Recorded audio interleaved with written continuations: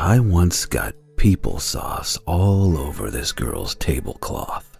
It was a nightmare getting it out. I, but I've always been a fan of intermittent fisting.